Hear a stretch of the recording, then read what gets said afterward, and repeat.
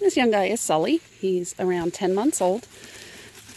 Uh, he was originally surrendered to our rescue after his family um, didn't have time to spend training and, and exercising him. He was adopted a few months back, uh, and his new family was wonderful. They took him to classes and gave him lots of exercise.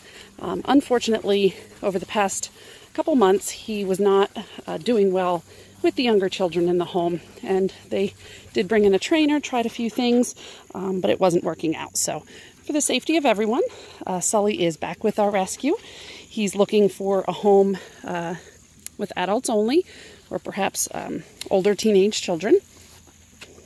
He's crate trained. He loves to go exploring. He knows a few commands. Trying to get a walk in real quick here before the rain comes. We're going to head down to the training building and see if he wants to play down there. His name is Sully. He's 10 months old.